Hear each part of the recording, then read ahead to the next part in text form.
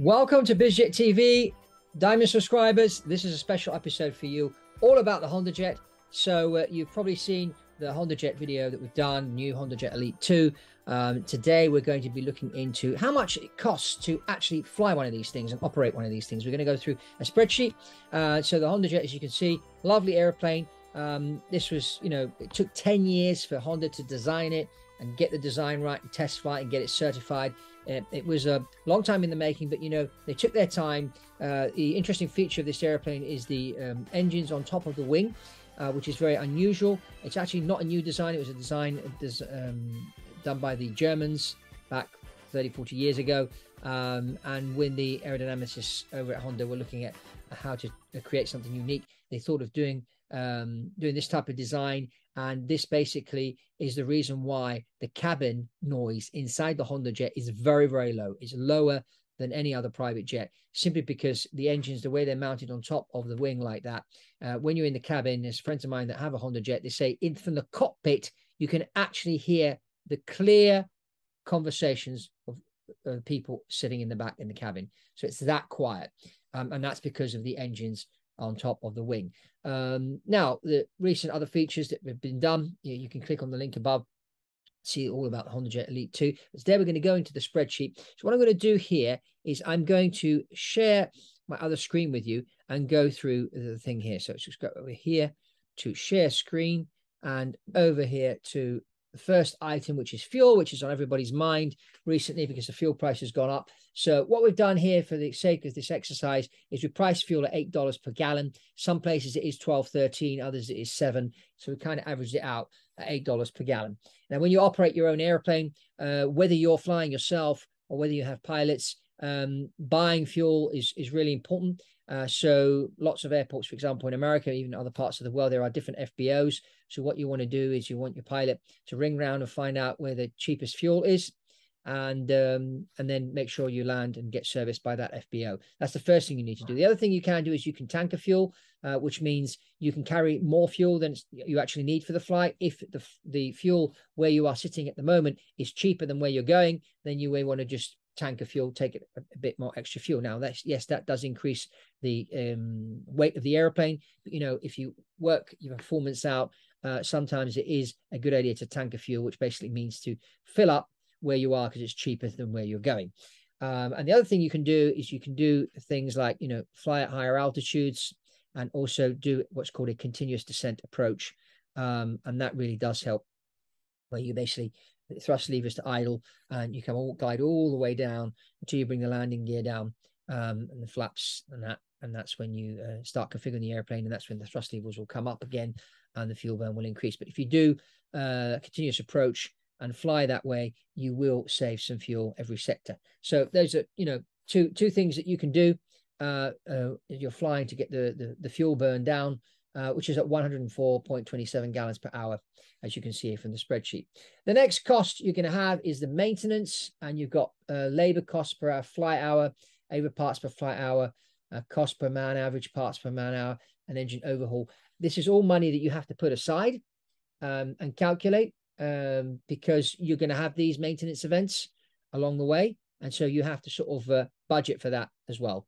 And so that uh, comes out to Total cost there of $173.46. Then you've got miscellaneous flight expenses like landing, parking fees, crew expenses, supplies, catering. Um, so that's uh, another thing um, that you want to put in there. Um, and that gives you an overall direct operating cost, which is the total of all the above of, of just short of $1,900. We then go into our, and those are the variable costs. Then we go into the annual fixed costs, such as your captain's salary. Um, now, the Honda Jet is a, a, single pilot airplane, which means you could just hire one captain and that's it. Um, or if you're a pilot owner, then you won't be paying for any pilots. You don't need any pilots because you're the pilot yourself. So you could take those things out. But you know, typically captain's about 82,000 a year, first officer 61,000. Uh, you've then got, you know, the benefits for the crew, um, and you've also got the hangar cost. Um, you got to put that in there. Um, next, we've got insurance two insurances here. You've got the hull and the legal liability. And this is the price for a Honda Jet, uh, 9,625 and 12,320 over there, uh, which adds up to 21,945 per year.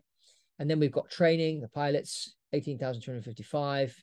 Uh, modernization of the aircraft, is anything there needs doing.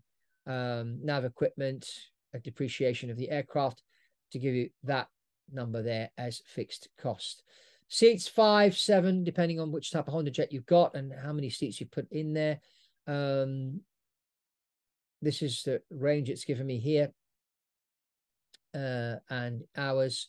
Uh, this is uh, nautical miles, you know, flown. Uh, 463 hours total costs, direct, fixed, variable.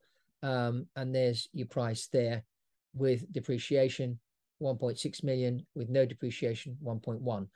Now, of course, this will depend on where you live as far as the bonus depreciation and what you can do, what you can't do.